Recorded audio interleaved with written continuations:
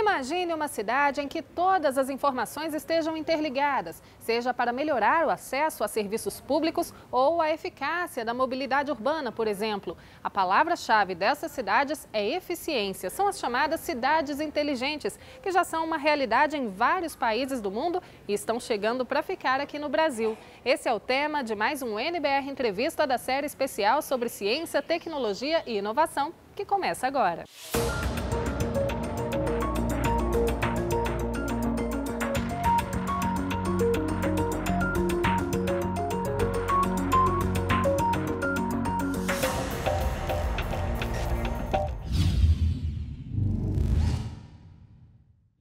o nosso convidado para o bate-papo de hoje é o Luiz Ramos, assessor técnico de telecomunicações do Ministério da Ciência, Tecnologia, Inovações e Comunicações. Muito bem-vindo ao NBR Entrevista, Luiz.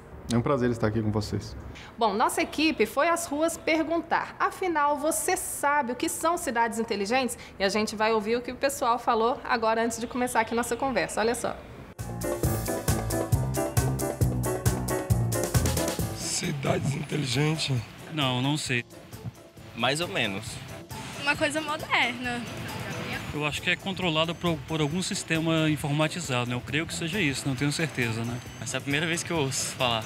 A primeira coisa que vem na cabeça é quando você, tipo, é mais, mais sustentabilidade, mais, tipo, quando tem alguma pessoa que tem é, deficiência e tem uma rampa para ela, uma cidade inteligente, eu acho assim, exemplo, que tivesse assim tudo que favorecesse ao cidadão. Na minha opinião, cidade inteligente, cidade de primeiro mundo. Seria muito bom porque assim a modernidade, né, chegando em Brasília, no Brasil, seja onde for, né? Eu entendo que onde você tenha a, é, facilidade, mobilidade, que você tenha é, uma, uma, organização pensada visando pedestres, visando automóveis, visando meios de transporte alternativos, enfim. Eu entendo ser por aí. Bom, Luiz, eu tenho a impressão de que o Wellington acertou em cheio esse conceito, mas conta você pra gente o que são de fato as cidades inteligentes. Bom, cidades inteligentes são cidades que fazem uso de tecnologias de informação e comunicação para a melhoria dos serviços públicos prestados, como transporte, a mobilidade, a questão da saúde, da educação, é, uma série de informações que vão auxiliar o cidadão no dia a dia. As cidades inteligentes são, de certo modo, uma evolução das cidades digitais. Explica para a gente esse processo. Sim, são uma evolução. No conceito das cidades digitais, a gente traz o primeiro passo, que é a infraestrutura de, de rede que interliga a cidade, que interliga os equipamentos públicos. Já com a cidade é, inteligente, você agrega a essa infraestrutura os serviços inteligentes, que são serviços como monitoramento de tráfego, monitoramento de clima, uh, de chuva, uma série de ações que vão facilitar o, o, o dia a dia do cidadão. Bom, as cidades inteligentes já são uma realidade em países como a Dinamarca e em 2018 a gente tem informação de que a Coreia do Sul vai inaugurar a primeira localidade totalmente inteligente. E aqui no Brasil, a gente pode dizer que esse conceito ainda é um sonho ou já é realidade? Existem projetos caminhando nesse sentido? Sim, o Brasil tem é, várias localidades que já caminham no sentido de uma cidade inteligente. Em alguns lugares você tem empreendimentos novos que já nascem com esse conceito de cidade inteligente, então com uma rede de comunicação que permite você agregar os serviços e os dispositivos. Em algumas outras localidades você tem cidades que já são mais antigas e aí você tem pouco a pouco serviços sendo implementados. Bom, a gente vai aproveitar então esse gancho para mostrar para quem está nos assistindo um exemplo de cidade inteligente que fica lá na Grande Florianópolis. É uma reportagem da TV da Universidade Federal de Santa Catarina. Dá uma olhada. Na Grande Florianópolis, temos como exemplo a cidade criativa Pedra Branca, a cerca de 18 quilômetros da ilha. O local, na verdade, é um bairro, mas tem a palavra cidade no nome porque busca juntar todas as atividades de um município num mesmo lugar. Como é que eu consigo morar num apartamento, descer na calçada, vir caminhando por uma calçada gostosa, pegar um outro elevador, ir no meu advogado, no meu trabalho, no supermercado, conseguir fazer as coisas mais a pé? mais próximo, mais denso. Permitir com que as pessoas usem menos o carro, ou seja, reduzir a necessidade de mobilidade. Em meio ao isolamento do mundo globalizado e das facilidades da tecnologia, A preocupação agora é de incentivar hábitos comuns que têm ficado para trás. As pessoas precisam se comunicar mais, nós estamos ficando cada vez mais separados, andando de carro. O sujeito compra um carro, coloca aquele filme escuro na janela e mora num edifício. Usa um carro para ir para o trabalho, volta para o carro e vai para o condomínio fechado. Quer dizer, você não está numa cidade. Não interessa. Se você tem melhores soluções tecnológicas, melhores soluções do ponto de vista humano, melhores soluções do ponto de vista ambiental e isso refletir numa melhor qualidade de vida das pessoas, a vida ser mais fácil ou mais prática ou mais feliz ou mais confortável do que fora antes, você está começando a mexer com inteligência. Então as abordagens são muitas, os contextos são particulares e os desafios são enormes. No fim das contas, cidades humanas, inteligentes ou criativas são conceitos. Com cidadãos integrados e participativos, cada bairro se empodera e se fortalece. A tecnologia pode ser usada a nosso favor, mas sem esquecer dos principais agentes da cidade, seus moradores.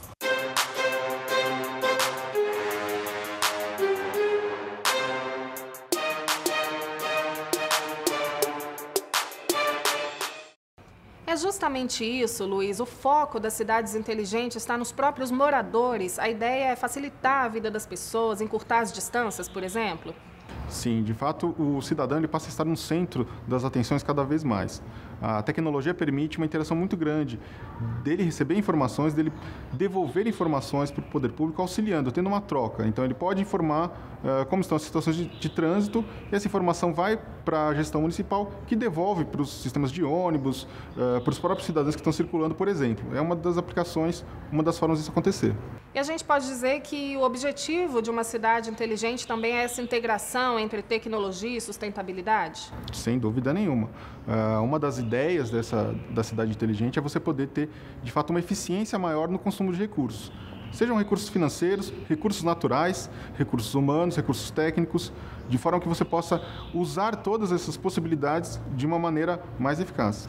Em que outras áreas o conceito de cidade inteligente pode melhorar a vida do cidadão, além de reduzir o trânsito, melhorar a mobilidade? É, a gente também pode dizer que entra aí a qualidade nas telecomunicações, no compartilhamento de informações, por exemplo? Sim, o compartilhamento de informações é uma das bases uh, da cidade inteligente. Ela se coloca, trabalhando com uma série de dados coletados, uma integração de bancos de dados, gerando informações que vão ser analisadas, como por exemplo na saúde. Você pode ter essa integração entre postos de assistência básica, hospitais, integração com hospitais em outras cidades, você transmitindo informações, transmitindo exames para outras cidades, facilitando é, o, o acompanhamento dos pacientes.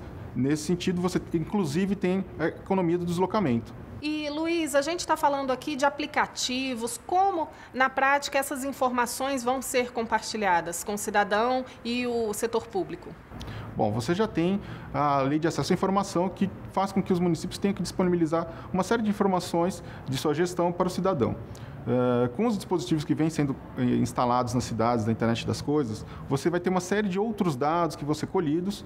Esses dados vão ser agregados e disponibilizados para, para os cidadãos que vão poder é, interagir, analisar essas informações, inclusive fazer propostas de novos aplicativos ou de novos usos dessas informações. A gente mostrou aqui um exemplo lá em Florianópolis, mas o Brasil tem outros estados, outras cidades já com projetos implementados de cidades inteligentes, com investimento inclusive do governo federal? Bom, em diversos estados nós temos investimentos uh, já das cidades digitais nesse passo para a cidade inteligente. Então, algumas dessas cidades já puderam instalar serviços inteligentes. Então, há áreas dessas cidades que já poderíamos dizer que tem um conceito de cidade inteligente em funcionamento. Aqui em Brasília, a gente pode dizer que tem um local que é uma cidade inteligente?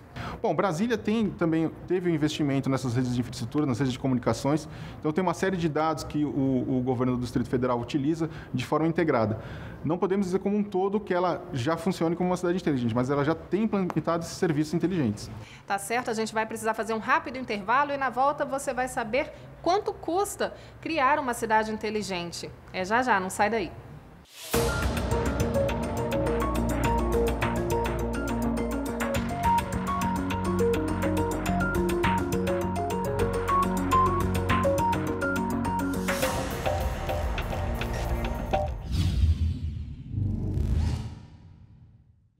Já estamos de volta com o NBR Entrevista, da série especial sobre ciência, tecnologia e inovação. E o nosso convidado de hoje é o Luiz Ramos, do Ministério da Ciência, Tecnologia, Inovações e Comunicações.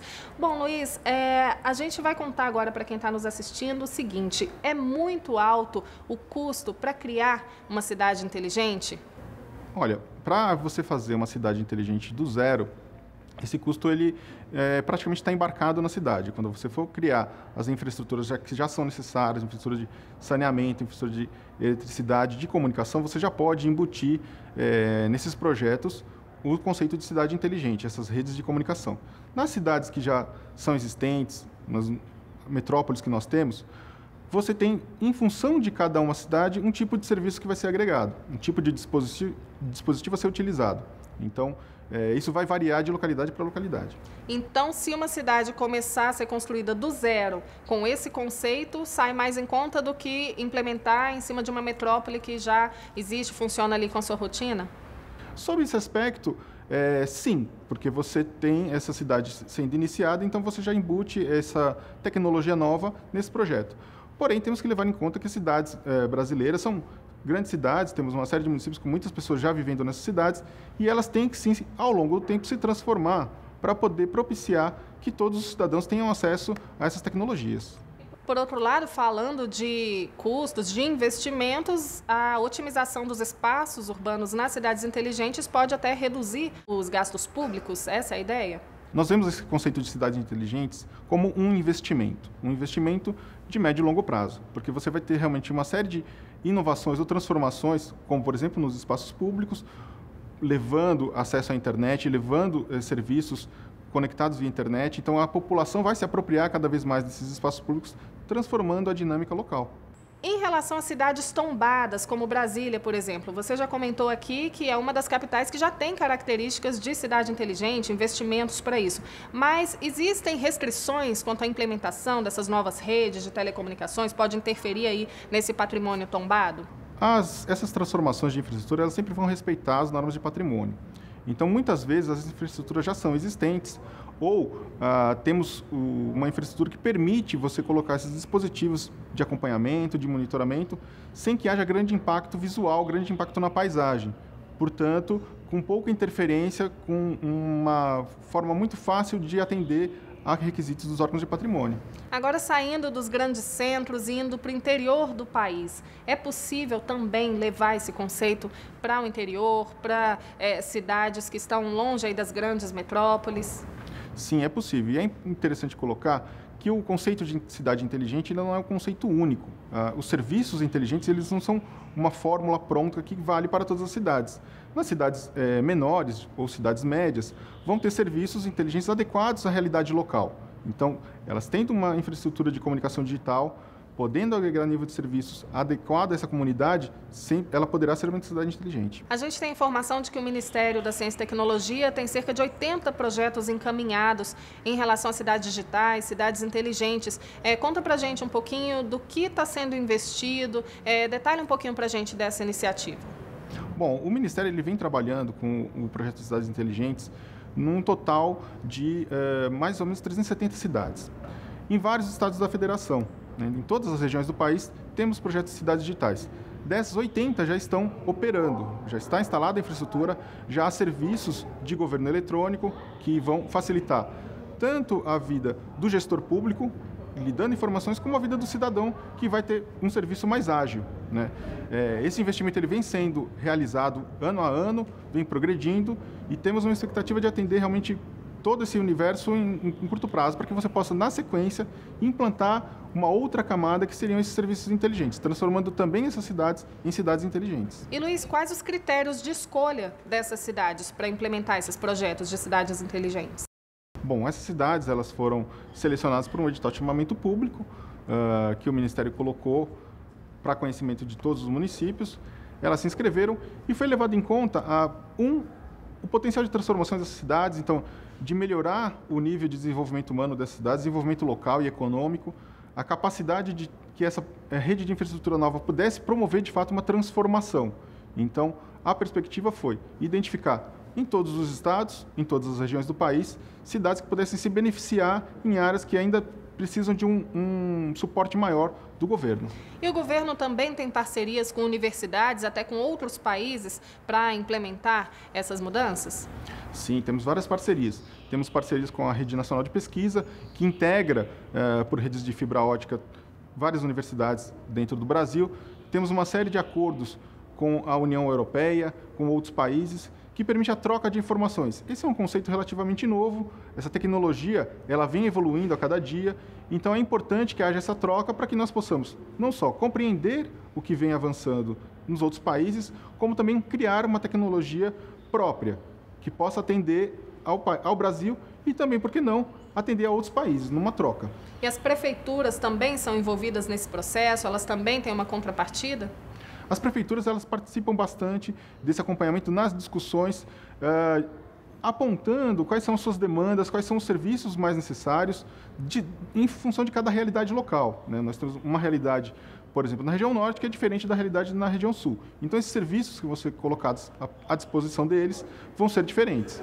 Agora, como as cidades inteligentes também ajudam na preservação do meio ambiente? Como é, funciona a questão, por exemplo, do recolhimento dos resíduos sólidos? Tem alguma coisa nesse sentido nas cidades inteligentes? Bom, você tem em algumas localidades uh, notícia de serviços que por exemplo, acompanham uh, ou as lixeiras, então você tem um sensor que avisa quando aquela lixeira já está cheia, e aí o carro vai fazer a coleta desse lixo, gerando uma economia de circulação de combustível, de queima de combustível, uh, ou mesmo controle de separação dos resíduos, resíduos recicláveis e não recicláveis, que vão realmente propiciar um retorno para o meio ambiente, um retorno econômico e um impacto menor no meio ambiente da cidade. Agora, uma curiosidade: como transformar grandes centros, grandes cidades como Rio e São Paulo, numa cidade inteligente? A reestruturação, nesse caso, é mais difícil? Bom, a reestruturação nessas cidades ela tem que ser progressiva. São cidades grandes, são cidades que têm uh, diferença nos territórios dela própria, então você tem situações de áreas atendidas com melhor infraestrutura, outras com menos infraestrutura.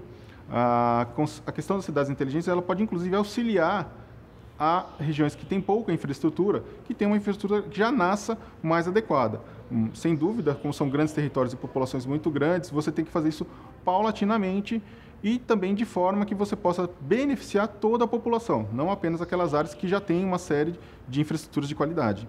Bom, e para ficar claro para o cidadão, as cidades inteligentes, elas tratam de várias áreas, né? Conta para gente na prática o que muda com esse conceito de cidade inteligente. Bom, ele está muito é, fundamentado no uso de dados e informações. Então, quando você tem bancos de dados integrados, você permite ter análises mais precisas. Você pode cruzar, por exemplo, não só os dados da saúde entre é, unidades de atendimento básico e hospitais, como os dados da educação. Então, verificar em que localidades em que regiões você tem, por exemplo, mais crianças que precisam de determinado tipo de vacina, uh, ou idosos que precisam de determinado tipo de atendimento. O cruzamento dessas informações é que vai permitir uma ação mais orientada, que faz parte do conceito das cidades inteligentes. Bom, Luiz, e para a gente encerrar, o que podemos esperar num curto prazo em relação às cidades inteligentes aqui no Brasil?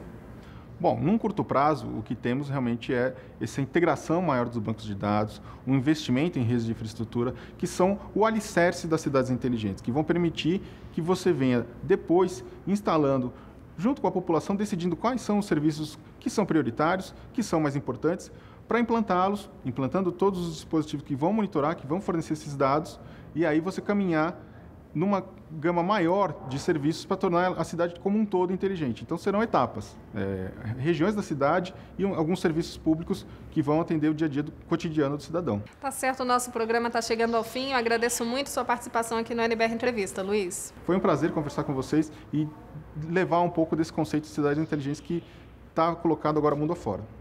Ok? Se você perdeu um trechinho desse programa ou quiser rever algum outro da série especial de Ciência, Tecnologia e Inovação, basta acessar nossa playlist lá no YouTube. A gente também conta com a sua sugestão de entrevista, basta mandar um e-mail para gente, o endereço aparece aí na sua tela. Eu te espero no próximo programa. Até lá!